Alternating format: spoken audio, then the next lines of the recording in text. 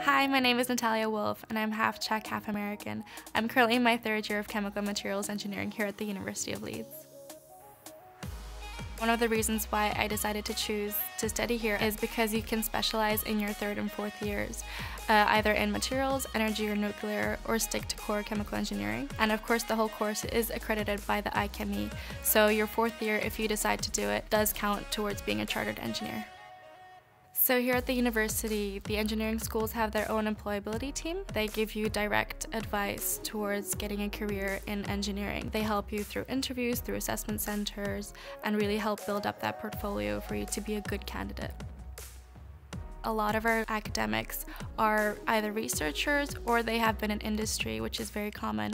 So they really do come out of industry to teach and they have that experience.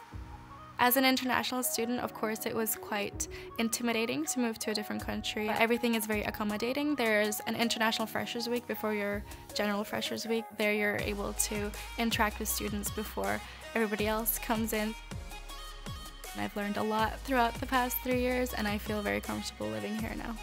And Leeds in general is a very homely city. Everything is close distance, and there are five different universities here. So it is a very comfortable city to move into and to adjust to quite quickly.